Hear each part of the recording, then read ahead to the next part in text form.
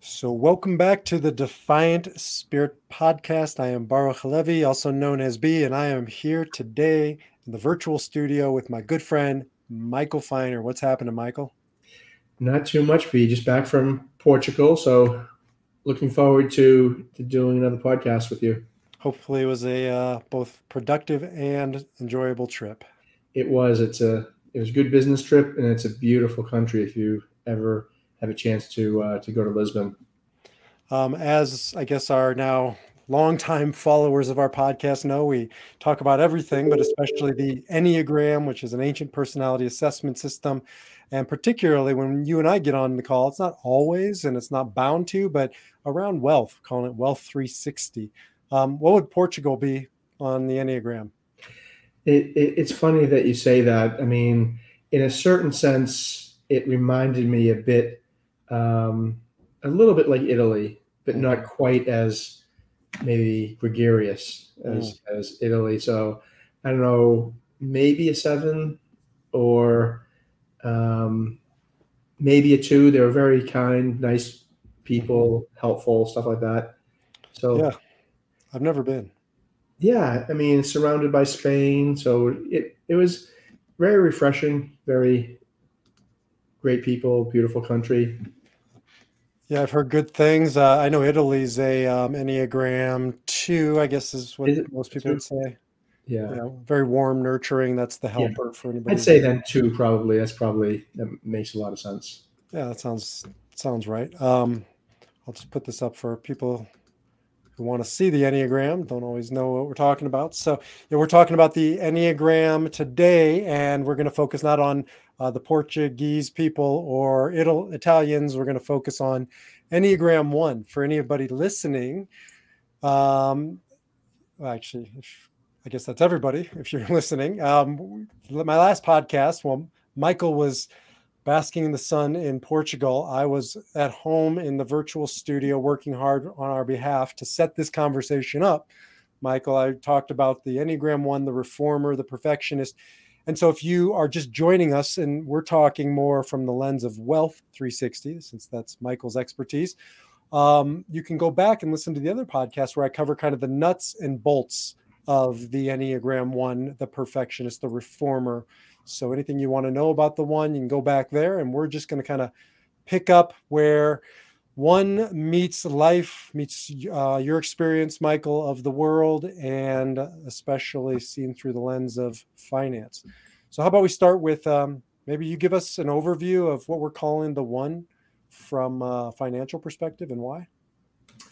Yeah, well, I think as we've discussed before, the one tends to be someone I look at as somewhat of a perfectionist, or an, or as you've taught me, more of an idyllic personality or it's like the ideal. Yeah. Um, and and sort of like a very neat look at the world. They like things neat and orderly, linear, organized. That's a fair statement. Um, and then that results in a different strategy, I imagine, for the way they approach their finances, their wealth, and the way you would approach them, right? That's the whole point of our bringing the Enneagram into the conversation. Well, what you've taught me about all this, and I think it's very poignant, is you know based on on your personality, based on on your natural instincts, you have certain tendencies, and and things need to be customized, both for communication and how one would invest based on your tendencies. And I think that's why this is so important, and that's the breakthrough that you have done with with this system as it relates to wealth is customizing it for specific circumstances. It's not going to be a boilerplate. Yeah, I think that's absolutely right. We're taking sort of the client and putting ourselves into their shoes to experience the world, which is the beauty of the Enneagram. You know, some people will say to me, well, okay, it's another self development tool. Not exactly, because yeah, I do think there's self development, but it's a relationship tool because now I can navigate based on your roadmap, not my roadmap. And if you're a one, that looks very different than the eight, the challenger. And so I can put myself into your shoes. I can experience wealth through your lens, and we can create an investment strategy based on your needs. Right. And so that's a beautiful, I think, uh, way to treat clients as, as, as human beings, as people who are unique. I think this gives you the ability to speak in a language that is based on the client's history and perspective, framework, attitudes, where they come from, where they've been, where they're going, versus a one size fits all. Right. That's right. One size fits all. It's gone. It never worked. You know, I just got back from Starbucks. Uh, it's my daily outing to Starbucks, which I wish I had stock. Do I have stock in Starbucks? Not, not in Starbucks, but it, it's funny that someone was pushing Starbucks on CNBC today. So it's all over the place. But you know, you're right. Selling you a five dollar cup of coffee versus a dollar cup of coffee. I mean, how do they do that? Well, they do it because they see you. They see your. They they honor your uh, choice. You know, my daughter was with me, and she ordered like some. I I can't even recreate her thing, but no foam and extra hot and this Splenda and that that. And they looked at her like she's normal. I mean, imagine ordering that like 20, 30 years ago at the local diner, right? They'd look at you, they'd, they'd throw you out. I was trying to remove a pickle once from McDonald's off the burger, right? I mean, it's, it's like sacrilegious. So, so this is the Starbucks. This is to to personality and you know, kind of treating people what Starbucks is to coffee, which is to see people on their terms and you know the uniqueness of every cup. So, anyways, um, our Enneagram One is built around some core values. I'm gonna I'm gonna actually share. This is my first time publicly sharing some of this picture, but I'm going to share with you a picture here. And this is from my program, um, Defy Your Number, and the Wealth 360 program. And on this um, slide, if, if those of you are looking, those of you are listening, we'll just describe it to you, are some core values. But I, I like the name that we've given the one. Why, why are we calling the one the blue chip investor? You're the expert. Well, the blue chip investor is synonymous with buying stable, strong companies that have strong history, strong cash flows. It's min- trying to minimize risk while maximizing, you know, future opportunity. They tend to reflect the strongest companies and and so forth. So I think that's why when we think of the one who is sort of a blue chip person, core it, they tend to have you know core values and and so forth. Yeah one enneagram ones are known for very, being very principle driven.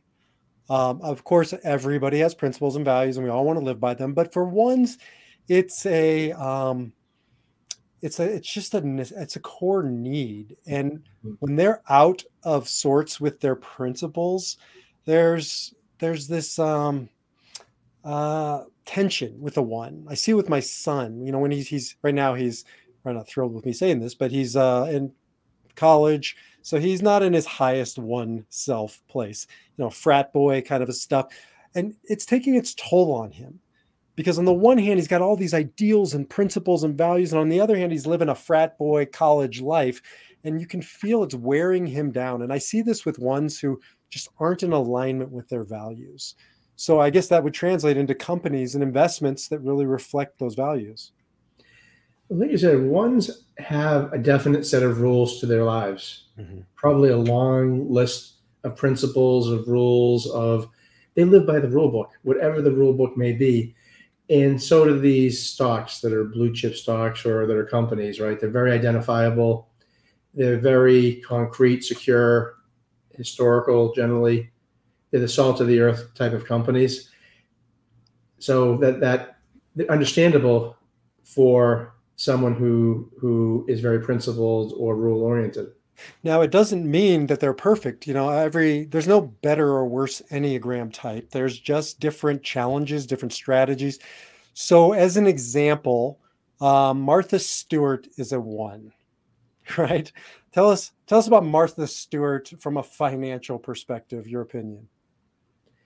Well, obviously, Martha Stewart is perfect in in that sense. She she everything is perfect about Martha Stewart.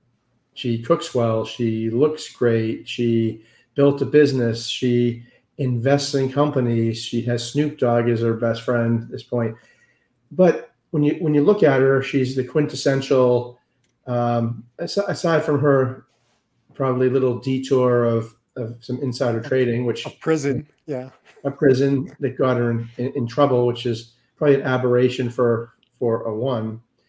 She, if you were to list, you know, who you might admire the most or want to be like, um, she might be the quintessential person that, that you look at as as an ideal lifestyle or an ideal um, person.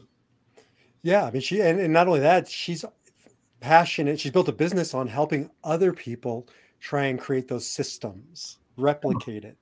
Amazingly, I think she's probably a billionaire and doing it off of cooking and you know DIY dishes and DIY and you know buying the right curtains and and and all of those types of things. But I think most importantly, if you think of Martha Stewart, um, there's a definiteness about her, right? She quality. She's looking at very high quality. I think of Martha Stewart. I think of yeah, isn't it everything she's doing is the best. It's mm-hmm. really high quality, and that's why the blue chip stock comes to mind because those tend to be the highest quality companies in the in the foundation, architecture, and strength. Yeah, and there's a there's a conservative nature to ones, not you know not political. It's just they're they're conservative. I think of um ones and sometimes like cats, right? Cats are very conservative compared to dogs, right? They conserve their energy. Yeah. They're you know they're harder to kind of penetrate. Dog, you know, like Apollo, your dog, right? He's just what you see is what you get. Oh, absolutely. And you get a lot you might get him any minute here. So we'll, see. and and your three piece suit, you know, leaves with hair and slobber, but you you were loved. That's more two ish. That's more other. But one ish is much more pristine, measured, calculated, which is why sometimes I have a hard time typing ones and fives. Fives the investigator, one's the um, reformer. There's a similar vibe that both have. And there's a couple times where I have a hard time typing. Is this person like Here's a, let's let's talk about another one. Um, Elon Musk. So is he a one? Is he a five? I have seen made cases made for both. I make the case that he's a one. I think he's a one, but he's got this reserved nature about him. Same with Warren Buffett. Most people argue he's a five, and I do think he's a five, but there's a conservativeness to the, all these kind of um, one and five types. Well, I think from a financial perspective, Warren Buffett's a certainly a one. He's the ultimate name the companies he buys. He his top five holdings include things like Coca Cola, Bank of America, Apple Computer, blue chip stocks, right? The big solid companies. He's not investing in anything unique, cryptocurrency, stuff like that, right? So, you know, for sure. Blue chip, right? Um, discipline. You know, ones are disciplined because they're they're into systems. They're into structure. I, I, would say systematic is a great word for what ones are. They like to be systematic about what they do, especially investing. They want to know the information, how you're going to execute it, what that means, some of the details, and, right. and how that. They'd be interested in the mechanics a little bit of, well, if a company makes money, how does that affect the stock price? So, so should I, how should I invest? So I'm sure that translates too to your clients. Um, ones are going to want to know more detail than your average type. Is that is that your experience? I, I, I think so, and they they would want to know, you know, if you're investing money over what time period you're going to do it, what different sectors might you do it in? Would you buy stocks and bonds? They'd be in, interested in some of the details versus some of the you know other parts, and from an opposite, you know, point of view, they don't necessarily want to invest in things that are um, really outliers or you taking a, a, swing for the fences. So that's the discipline, and I'm, sorry if you can hear stuff in the background. I got some uh, construction going on, but um, that's that's the discipline piece. You know, they're they're long game players. I mean, Buffett's known for not wanting to, right? Go with you know he's not going to be a Robinhood kind of investor. Right. What's the, what's the uh, what's the stock de jour?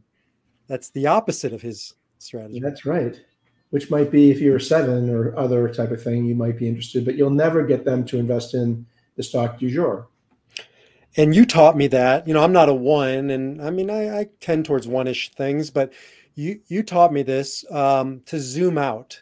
you know, we we touched on it in a previous podcast that I don't think ever went public, so it's worth talking about. Um, when I hit when we hit the market two years ago at the beginning of COVID, and everybody's freaking out, and I was on board just like everybody else. Um, and I remember you sent me a slide of the market over the past, I don't know, 100 years or 80 years or whatever, 70 years. And it was a, a 45 degree basically angle trajectory where if you zoom out, you don't, you see the big picture. And the big picture is the market is ascending, it's growing, even if we hit these bumps and these rocks along the way. I think of that as a very one-ish approach. I think it's the ultimate one approach to understand from alpha to omega, for lack of a better analogy. If you look at it from A to Z, beginning to end, you'll see what the equation is. What the sausage looks like in between, you know, other people tend to focus on more. So, are you able to zoom out? Which is a critical skill set in investing and life. If you can't zoom out, it can be a very, very rough ride. It's probably true of you're the expert in more, you know, um, logotherapy and other counseling, but I have to suspect that that is probably a skill set that can be helpful in, in, in general. Well, that that's also so every you know type has a, both a blessing and a curse, a light and a dark, and the shadow side of the one. I see it with my son and, uh, and a couple of my clients actually who are ones, is they zoom in, they over zoom, they forget to zoom out, because if you're if you're detail oriented right you're detail oriented and you start looking at all the i's that aren't dotted and all the t's that aren't crossed you can drive yourself crazy and so zooming out is such a important reminder for a one because they are long game people but they can sometimes over zoom in.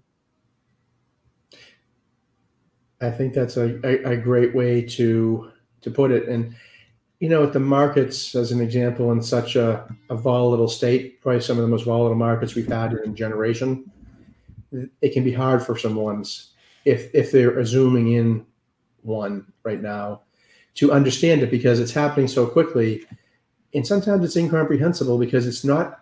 Ones tend, I think, tend to be logical. Would I be right in their approaches? And sometimes the markets are not logical in the short run. To your point, on the zoom out, they're logical they correlate with earnings of companies. In the short run, they don't. You know, you could have a, you could have, uh, you know, they, they, they spotted a herd of elephants in the street of Wall Street and the market fell, and someone's attributing it to that. Of course, has nothing to do with anything. But anything can can disrupt the market in the short run. Right. And ones, you know, ones look like fives in that way. That it's except for fives, the investigator, it's coming from a need to understand. For ones, it's coming from a need to be in control. Eight, right. nine, and one are the body types, and it's all really revolves around control. And that's I'm, I'm glad you brought that up because in, in tough times, or tough markets like this, where I'll say it's volatile, there's no one no one is quite as stressed out when the market's going crazy on the upside. Yes. Volatile but on the downside, where you feel like you have to be in control, this is something that you can't be in control with in, in the short run. In fact, you cannot affect it at all as an individual investor, even as a company, or and no one can control it. And, and the core fear, each type has its core fear, and and the core fear of a one is I'm not perfect. I need to be perfect. There's this chatter that happens inside a one, more inside lots of types, but especially a one. And again, I see it with my son, but I see it with my clients. Um, they're just they want to be so responsible so that if if there's a downturn like i invested in a particular stock and it's now plummeted and i talked to you a while back and you said b let's pull some of it out and i said michael no. I should have listened to michael finer but i didn't. And if i was a one i would really be beating myself up. I, that was not a responsible decision. You know what you would probably i think have said to me is be like your retrospect is you know hindsight's 2020 and we didn't pull it out for whatever reason. But a one just keeps beating themselves up over and replays it over and over. I shouldn't have. I let my family down. I let my grandchildren down, right? Future generations won't getting this wealth. So you can hear how one can almost crush themselves under their pressure of responsibility. No, I see it all the time. A one will measure themselves financially from the high point of the market. They probably could tell me the date that the market hit a high point in January of 2022 Right. Your account was at a top and now it's not. and why didn't they sell at that exact moment? Like, well, no one even you know, it's impossible. Even Warren Buffett, you can't pick the highs and the lows, but in their minds, they've set that as the high watermark, as the high goal, as the you know, the high jump. It, it their peak moment, and why is the number not there at this point? Which yeah. can be a bit debilitating because that was one close on one day at one point in time. It will get back there at some point. My only problem, of course, is I don't know exactly when. I wish that's that's that's what I need to know. But but you know that gets to the heart of what a one really has to work on is um, perfection. It was Voltaire. Somebody said perfection is the enemy of the good right because mm. if you wait for perfect if i'm if i'm you know in your neck of the woods in salem massachusetts and i'm sitting at uh, Vinnin Square for all those locals listening and i'm i'm, I'm not going to go until every light down humphrey street turns green then i'm just going to be sitting there forever i got to take the light as it comes and then go to a red and no it's not perfect but that's how you drive well that's how a one needs to learn to live of it's not going to be perfect so we're going to have to take good and good's going to have to be enough that's the work. It is work, and I, I think knowing it, that you have a one, which is why this is so valuable of a system. If you know that you're a one, and we know that you're a one, we can work through these changes in in life in the market because what can you do if you're one and you're looking at making a high watermark or or you know you had a stock that maybe you could have sold and now you regret well maybe it's time to buy more of that stock if it still has fundamentals. It, it, it, may be hurt unnecessarily. It may be hurt because of nothing to do with the company.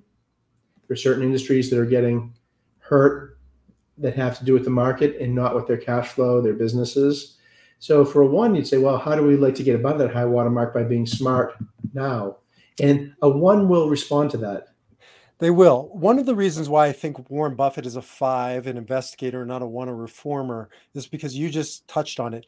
See, there's an anger with ones, eights, nines, and ones, because that body triad, that mm. gut instinct, there's a fire.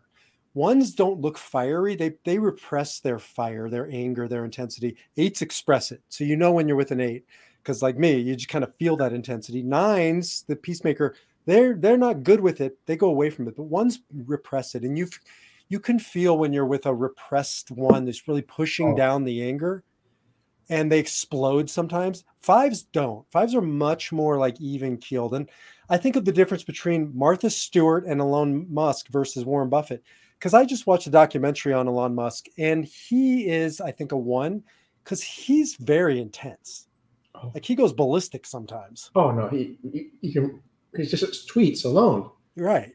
Warren Buffett doesn't do tweets. They they hate his tweets, so he bought Twitter. I mean, that's that's about as uh, aggressive as you get, right? There's an aggressive. He you know he buys Twitter. After, after the SEC criticizes him for tweeting stuff on the companies, he buys the company. I mean, that's pretty. I, I wouldn't call that you know sort of five-ish, right? Yeah, that's a that's a one-ish rebellion, you know. But mm. ones are almost um they're like you know, they, they're not like making a big stink about it. He just bought it.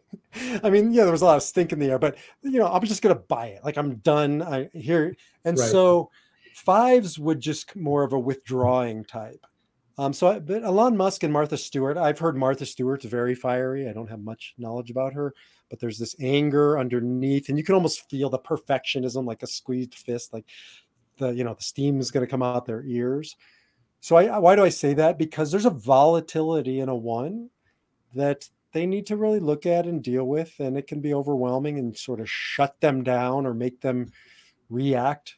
Um, and I think that you are necessary for a blue chip one to really help kind of re- be a release valve for some of that steam. Very interesting point, especially as you mentioned the eight nine ones are the body types, right? Mm-hmm. So I guess that's important to really understand as well, to, to understand that they do have this physical part of their personality, which could partially be repressed or which has to be addressed. And what are the techniques? What are the techniques to help them address that repressed? Because I, I know I know you're an eight, and I have friends that are eight, and you're an eight. So I understand a little more on an eight because they're more expressive, but how do you do the opposite when someone is a one investor and needs help with that so they don't get frustrated or, or worse? So um, let's deal. Let's leave nines out for another time. So eights and ones are almost yin and yang. Eights overexpress. So again, when we say body, we mean like take action, and it isn't always conscious. That's by instinct is what it is. It's just like this need to take action to take control because right. we're coming back to control. Ones, um, they get caught in analysis paralysis. Too, you know, I see it with my son. Too many choices. It causes him like this, ah, uh, and he doesn't know which way to go. And so what eights need to do is slow down, take a deep breath, get back into your body, ready, aim, fire is a healthy way to go about it. Not ready, fire, aim. And ones need to get out of perfection. You're not going to make the perfect decision. We got to make the best decision. You know, so your job is to help them get back into a realistic frame of reference. And there's going to be a downside to our choice, but that's okay. All life is about downside and and then it's also about taking action because they'll get caught in this perfect thing and then they won't want to make a decision. And so part of a financial planner's role is to help them pull the trigger when you have enough information because you're never going to have all the information. Right? And that the market's going to pass you by by the time that happens. So make a decision as part of how you help a one. Get out of that paralysis that's great advice. And that's why we're doing this is to understand how to best deliver information, how to have the best experience and and understand each other. So I think what we're going to do is we're going to go through all the Enneagram types over the coming weeks, and we're going to look at high level the name of the find the Wealth 360 version of the Enneagram, like today, the blue chip investor. then I think we'll do part two after we've gone through all of them, which is a deeper dive because um, Michael and I are looking at my Wealth 360 program, and on it we have investment strategies and earning and spending. You know, that's more inside baseball. So we'll put a uh, pin in that, and we'll come back to the deeper strategies for investing and saving and all that kind of stuff. But how about we end with on each of these that we do as an overview some one-ish companies. So maybe they're not ones, but they certainly feel like one is ones. They they maybe they've been started by ones, or at least they have the um, I don't know the flavor of a one. What are what are some that you would throw out there? Well, I, the, the first one that you gave me, I'll never forget it, and I think it. I have to give this the number one one, right? Number one of all ones. The country is a one. I was just there. The company is definitely a one. The product they make is a one. So Rolex. Rolex. I mean, it's from Switzerland which I think has to be a one. Yeah, for sure. Country. Rolex, from a quality perspective, from a blue chip, from quality, it makes precision clocks and timepieces, for God's sake, right? right. I mean, I could, if you had to say, build a one company, what would it be? I think you'd have to go with Rolex. It, to me, I don't have to know anything else about what you put, but when you identified Rolex as a one company, that tells me everything that I need to know.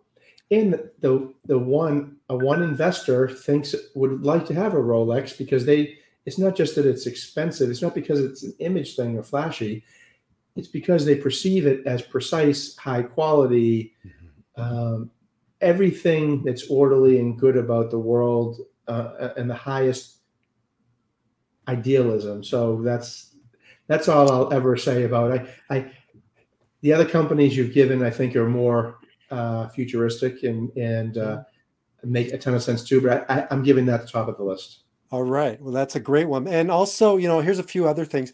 Um, ones are present focused, even though they're lo- they're in it for longevity. Like Rolex has been around forever.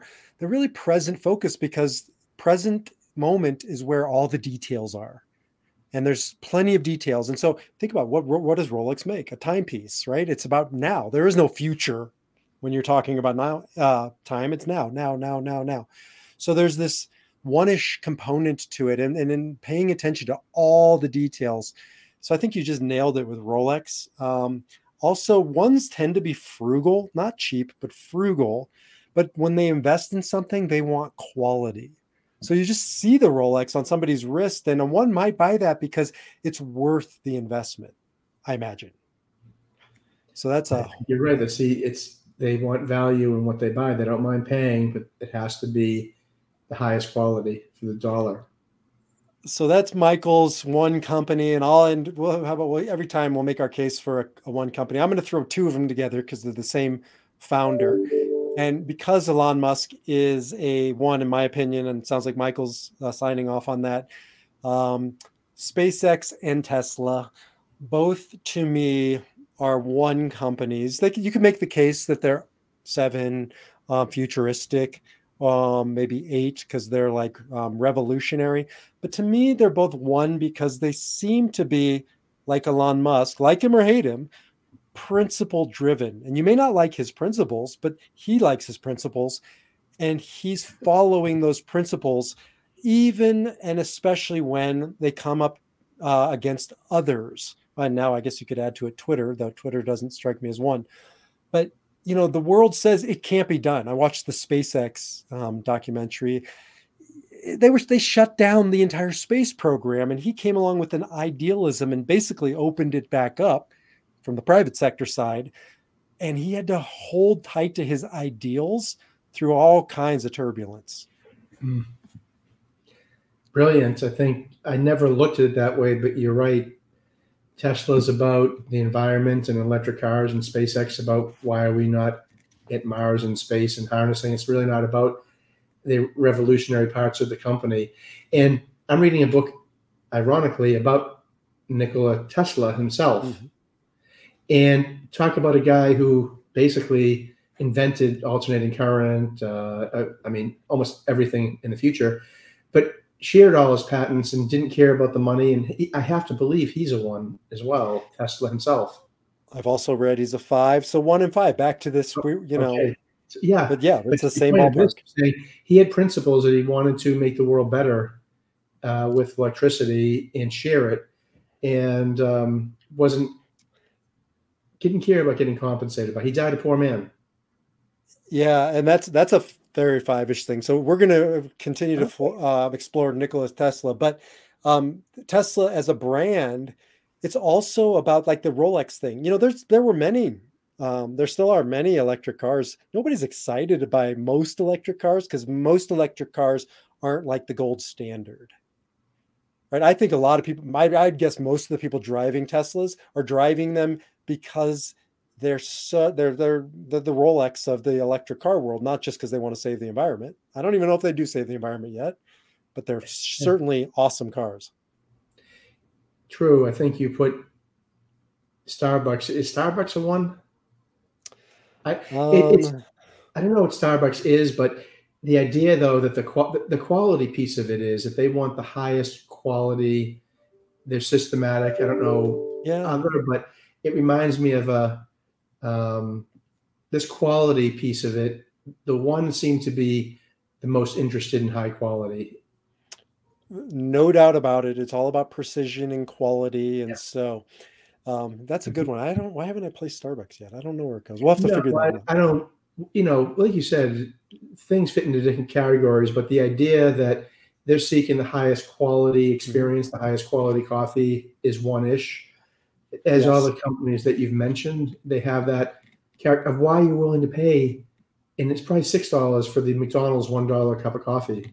That's right. It's amazing that the perception of that experience and quality can can make a business from a commodity. But you know, they're they're like for instance, Enneagram four, and then we'll wrap up here, is the individualist and they're the, the artist. So artists can make quality too, but one of the differences is one wants to replicate right? They want system because one of the great things about like Tesla, and this was the early, you know, question of whether or not he could pull this off.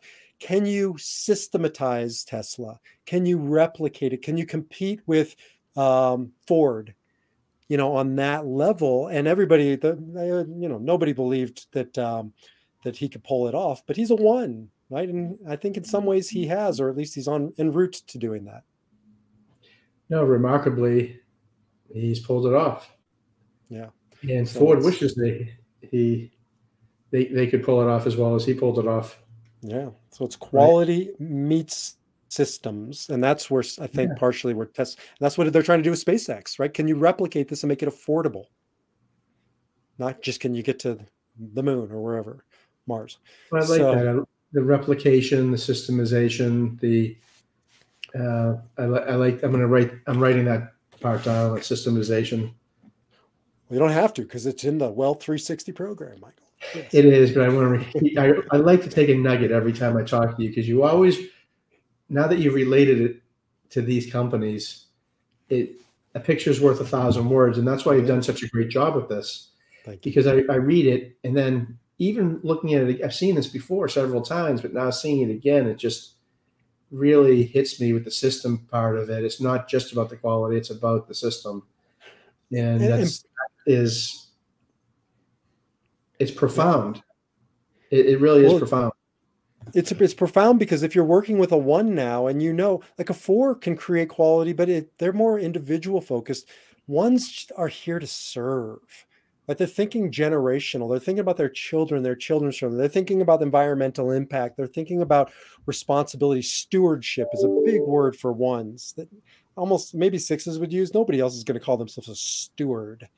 It's kind of an old fashioned word but so yeah, it's going to affect their investment strategy. That's stewardship of a one. So Well, you're you're you're onto something big here, B, because this is very very important. You've you're you're, you're cracking something new, just like Tesla. Uh, you didn't invent the car, you didn't invent the electric car, you you, but the way you have crafted this operation is important, profound. It, it's amazing. Well, Elon Musk has no idea about how rockets work and getting to Mars, but he surrounded himself with people who did, and that's how I feel about you and uh, all the Wealth 360 conversations. So thanks for getting us to Mars. We're on our way. We're on our way. Um, sounds good. We're going to keep going. We're going to uh, jump into um, the other Enneagram types, both from the fundamentals, which you know you'll get on a podcast with me, and then we'll bring Luke Michael in to uh, continue the conversation through the lens of wealth. If you want to get a hold of Michael and really start to understand your wealth, um, not just invest it, though there'll be a good ROI, but um, to understand why you feel this way and how you can best reflect that in your investment strategies, uh, get a hold of Michael at finer.com, just F I N E R.com. If you want to learn more about the Enneagram, you can jump over to defiantspirit.org. And until the next time, thank you, Michael. We'll keep defying our number and live in our spirit. See you next time.